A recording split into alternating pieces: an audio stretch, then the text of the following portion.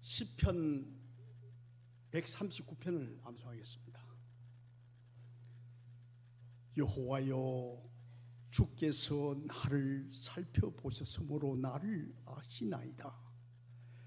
주께서 내가 앉고 일어섬을 아시고 멀리서 내 생각을 밝히 아시오니 나의 모든 길과 내가 눕는 것을 살펴보셨으므로 나의 모든 행위를 익히 아시오니 여호와여 주께서 내 혀의 말을 알지 못하시는 것이 하나도 없으시니다 주께서 나의 앞뒤를 둘러싸시고 내게 안수하셨나이다 이 지식이 내게 너무 귀하여 높아서 내가 능히 미치지 못하나이다.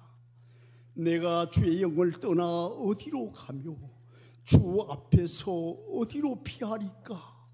내가 하늘에 올라갈지라도 거기 계시오며 서울에 내 자리를 펼지라도 거기 계시니다.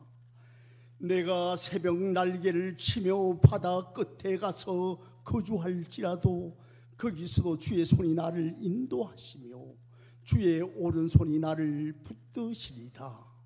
내가 혹시 말하기를 허감이 반드시 나를 덮고 나를 두른 빛이 밤이 되리라 할지라도 주에게서는 허감이 숨기지 못하며 밤이 낮같이 비추이나니 주에게는 허감과 빛이 같음이니이다. 주께서 내 내장을 지으시며 나이 못해서 나를 만드셨나이다. 내가 주께 감사하오면 나의 지으심이 심히 기묘하심이라. 주께 사신 일이 기함을 내 영혼이 잘 아나이다. 내가 은밀한 곳에서 지음을 받고 땅의 깊은 곳에서 기하게 지음을 받을 때 나의 형체가 주 앞에 숨겨지지 못하였나이다.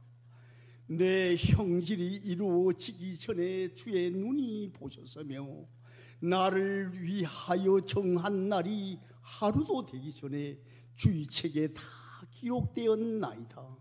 하나님이여 주의 생각이 내게 어찌 그리 보배로우신지요? 그 수가 어찌 그리 많은지요?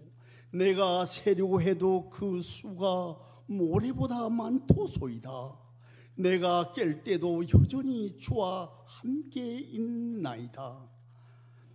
하나님이여 주께서 악인들을 반드시 죽이실 것임이니이다. 피 흘리기를 즐기는 자들아 나를 떠날지어다.